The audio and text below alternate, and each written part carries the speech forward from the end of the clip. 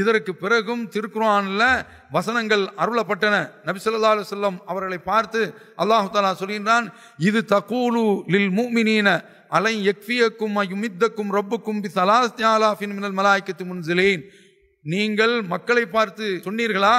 ரசுல்லாவி ஸல்லல்லாஹு அலைஹி அவர்களை பார்த்து அல்லாஹு தாலா சொல்கின்றான் அலைம் எக்ஃபியக்கும் அயுமித்தக்கும் ரப்புக்கும் பி சலாஸ்தியாலாஃபின் மினல் மலாய்க்கத்து முன்சிலேன். வானத்திலிருந்து இறங்கக்கூடிய மூவாயிரம் மலக்குகள் அவர்களை வைத்து உங்களுக்கு உதவி செய்வது உங்களுக்கு போதாதா? நீங்கள் மக்களுக்கு சொன்னதை நினைத்து பாருங்கள். பலா இன் தஸ்பிரு ஆமாம். நீங்கள் பொறுமையாக இருந்தால் ஒ தத்தக்கு இறைவனை நீங்கள் அஞ்சினீர்கள் என்றால் ஒயோ தூக்கும் மின் ஃபௌரிஹிம் மகாதா திரும்ப அவர்கள் உங்களிடத்தில் வந்தால் யும்திதுக்கும் ரப்புக்கும் மிஹம்சத்தி ஆலாஃபின் மினல் மலாய்க்கத்தி முசமீன் போர்க்களை தெரிந்த ஐயாயிரம் மலக்குகளை உங்களுக்கு அவன் தருவதற்கு இருக்கின்றான். ரெண்டாவது தவணையாக மூவாயிரம் மலக்குகள் திரும்ப அவர்கள் எகிரி அடிக்க வந்தால் ஐயாயிரம் மலக்குகள் என்று அல்லாஹ் குர்ஆனில் இந்த பதிரு சம்பந்தமாக மக்களுக்கு எடுத்து சொல்லி காட்டுகின்றான். உண்மையில் அந்த மலக்குகள் தான் அந்த களத்தில் இருந்து போராடினார்கள். ரெண்டு விதமான அற்புதம் நடந்தது. ஒன்று மலக்குகள் களத்தில் நின்று போராடினார்கள். நப்சல்லா அலுவல்லாம் அவர்களிடத்தில் ஒருவர் வந்து சொல்கின்றார் ஒரு நபித்தோழர் அல்லாஹுடைய தூதரே நான் ஒருவரை துரத்தி கொண்டு செல்கின்றேன். அப்படி துரத்தி கொண்டு செல்லக்கூடிய அந்த வேளையில் அவர் கீழே விழுந்து விடுகின்றார். அப்படியே சுருண்டு கீழே விழுந்து விடுகின்றார். நான் அப்போது சாட்டை சத்தத்தை கேட்டேன். அக்திம் ஹைசும் என்று ஒரு சங்கேத வார்த்தையும் நான் கேட்டேன் என்று சொல்கின்றார். இவர் யாரை துரத்திட்டு போனாரோ அவர் அப்படியே கீழே விழுந்து கிடக்கின்றார். அவருடைய முகத்தில் கோர காயம் ஏற்பட்டு இருக்கின்றது மூக்கில் காயம் முகம் நஞ்சு போய் இருக்கின்றது.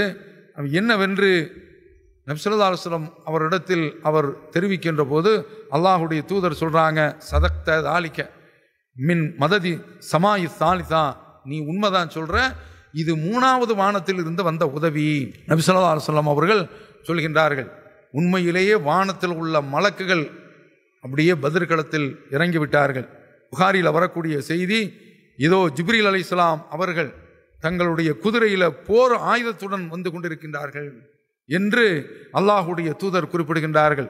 அவ் ஜிப்ரீல் அலி இஸ்லாம் அவர்களும் களத்தில் வந்து நிற்கின்றார்கள். அப்பாஸ் நபிசல்லா அலுவலம் அவர்களுடைய சிறிய தந்தை அவர்கள் இந்த பதிரு போர்க்களத்தில் எதிரிகளுடைய அணையில் வந்து நிற்கின்றார்கள்.